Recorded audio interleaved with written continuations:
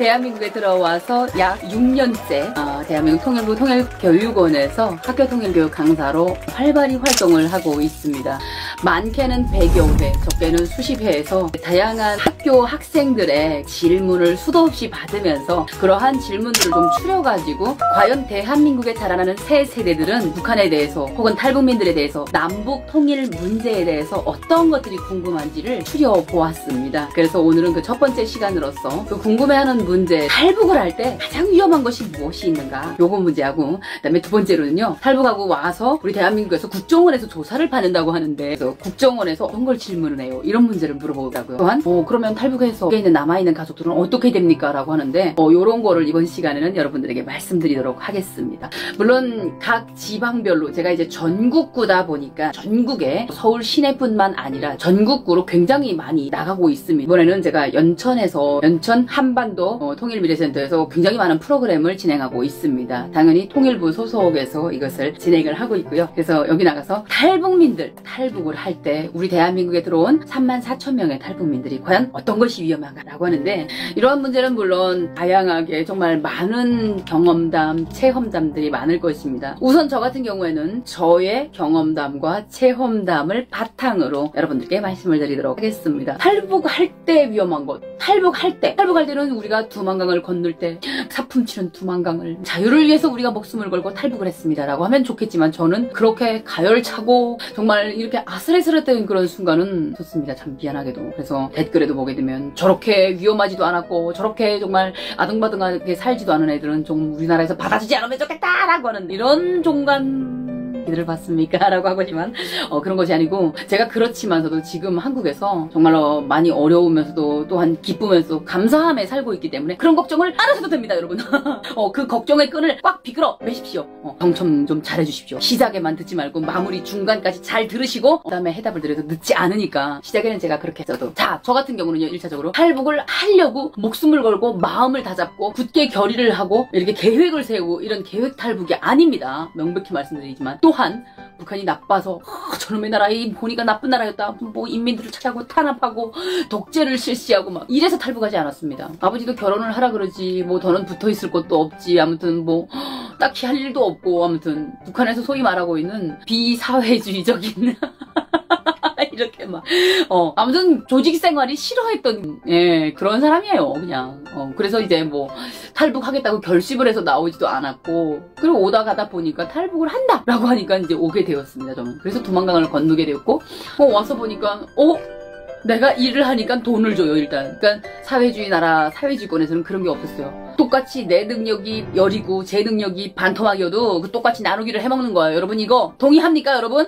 이게 바로 사회주의예요. 저는 싫어요, 이런 게. 예. 일단은 공평이 너무 싫더라고요. 그걸 딱 깨닫는 순간에 너무 싫은 거예요. 나는 내 능력을 발휘하게 되면요. 열을 일을 하게 되면 다수술 줘도 좋으니까 그래도 주는 그런 어, 분배 제, 제도가 좋더라고요. 그래서 나왔습니다, 저는 일단은. 그래서 탈북할 때 그 위험을 그렇게 몰랐어요. 자, 이 탈북을 두 가지로 봐야 될 것 같습니다. 자, 그 1차 탈북은 바로 북한에서 넘어올 때 상황. 그리고 중국에서 여러 개의 나라를 격려를 하면서 미얀마, 라오스, 태국 막 이런 동남아 국가들을 오면서 그 다음에 한국까지 오게 됩니다. 그 때의 위험성이 좀 더 강렬했다라고 보면 될 것 같습니다. 위험했던 순간이요? 아, 정말 위험했죠. 그때는 제가 무슨 진짜 이게 아, 여기 외리가 이렇게 이렇게 있다면 여기다가 이게 찍고 여기다 극약까지 넣었어요. 네. 딱 물게 되면 그냥 쥐도, 쥐도 새도 모르게 진짜 죽어요. 어, 이거 구하기가 되게 쉬웠어요, 그때는. 어, 그래서 그 돈만 주면 다 사는 나라니까 그거에 전기곤봉 이렇게 해서 딱 되게 되면 여기가 막 바베큐처럼 따다닥 타버릴 거예요. 전기곤봉에 뭐 칼에 뭐에 다 가지고 있을, 있을 거는 다시 돌아가라 하면 싫어요. 난 안 가겠다고. 다시 이제 북한에 가야 될 상황이 온다면 안 갈 거예요. 안 가겠다 그러고 떠난 길이니까 그때가 제일 위험했던 것 같아요. 제가 보건대는 음, 물론 지금은 두만강 압록강 건너는 일이 되게, 되게 힘들었는데 제 상황에서 놓고 본다면 두만강 건넜을 건널 때보다 메콩강 건널 때가 더 험악하지 않았나 이런 생각이 돼요. 진짜 숨죽이고 12시간 동안을 비탈길, 산길 막 해밟고 막 5, 6m, 5, 600m가 되는 이런 데를 막 12시간을 저희가 걸어왔어요. 그 길도 없는 무인지경 빗길이 돼가지고 밤새고 노는데 진짜 미끄러지게 되면 얼굴도 다 찢어져요 막. 그- 이렇게 딱 날이 딱 푸름푸름 동력이 밝아오니까 그래서 태국에 그 이제 메콩강 건너는 그 선까지 온 거예요. 근데 와서 보니까 우리 일행이 있잖아요. 다 무슨 전장에 제 3차 대, 세계 대전을 치른 사람들처럼 찢어지고 터지고 깨매고 막 이런 사람들 천지였던 거예요. 어. 막 그래가지고 서로 보면서 웃었어요. 근데 나도 보니까 몰골이 많이 아니었던 거죠. 신발은 진짜 진흙이 더덕더덕 묻어가지고 한뭐 10kg씩 나갈 것 같아요. 너무 무거워가지고. 바지는 찢어져서 너덜거리고, 진짜, 하, 이거 빨리빨리 탈피하자, 탈피. 막 벗고. 그래가지고, 진짜, 그때 딱 넘어가니까 거기가 바로 치앙콩이라는 동네였어요. 어. 그래서 그 치앙콩이라는 동네에서 우리가 옷을 갈아입고, 그렇게 해서 저희는 정말 대한민국 국민분들 중에 기독교계 정말 섬김을 하는 이런 분들이 계십니다. 뜨거운 인류애로 가득 찬 이런 분들께서 헌신하고 희생을 하시고 계시는 분들이 계십니다. 그래서 기독교계 이런 분들에게 저는 깊이 숙여서 인사드리고 싶습니다. 진심으로 감사의 인사와 경의의 인사를 드리고 싶습니다. 그래서 이런 분들 덕분에 우리가 일주일 동안을 편하게 여행객 삼아 이렇게 돌아볼 수 있었고 망고나무를 볼 수 있었고 생전 살면서 처음 생전 2, 30년 만에 처음 보는 그 망고나무, 바나나 나무 막 생전 처음 먹어봤어요. 그런 걸 막 내가 북한에서 살았더라면 진짜 뭐 100년을 살아도 1000년을 살아도 절대로 먹어보고 죽지도 못할 걸. 여러분 자유란 바로 이런 겁니다. 수령에게 들어갈 저 망고 같은 것들을 내 입에는 생전도 내가 먹으면 안 되는 알고 있는지 없는지도 모, 모르고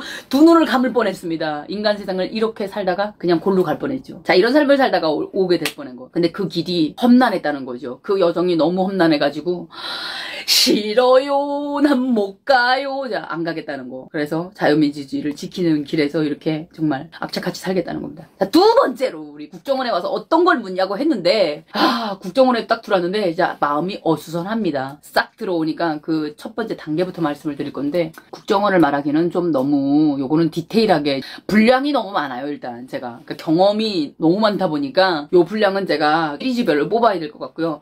일단은 태국에서 있었던 일을 마저 말씀을 드린다면요. 태국에서는 저희가 일주일을 놀았다 그랬잖아요. 호텔에서 놀고 옷을 싹 갈아입고 그 다음에 한국의 기독교 분들에게서 받은 선물 박스 세트 이런 걸 가지고 나갑니다. 그딱 나가가지고 어떤 거냐면 바로 거기에 이제 생리대부터 시작해서 생필품 그 다음에 세면도구 시작 해가지고 이런 걸 딱 받으니까요. 세상에 우리 옛날에 있잖아요. 벽돌 과자를 받아들고도 매일 감사하다고 대가리를 조아리고 그냥 감사하다고 그렇게 하고서나야 먹어댔는데 이건요. 진짜 생전 먹어보지도 못한 짜장면도 먹여주고 이러는 목사님들이 하나님보다 더 너무 이게 너무 좋았던 거예요. 우리 왜 그때 그 벽돌 과자를 받아들고도 그렇게 감사해 했어야 되는지 그러면서도 나는 이제 막 그렇게 많은 아사자들이 있을 줄 몰랐고 굶주리는 애들 저렇게 많은 줄 몰랐고 정말 이게 국가였습니다. 여러분 국가라는 국가란 이걸 알아야 됩니다. 세상에 어느 나라의 지도자가 어? 살겠다고 자기 생존권을 위해서 국가를 탈출했다고 그걸 죽여버립니까? 어? 이 말도 안 되는 상황이 이게 북한이라고요. 지금도요. 어?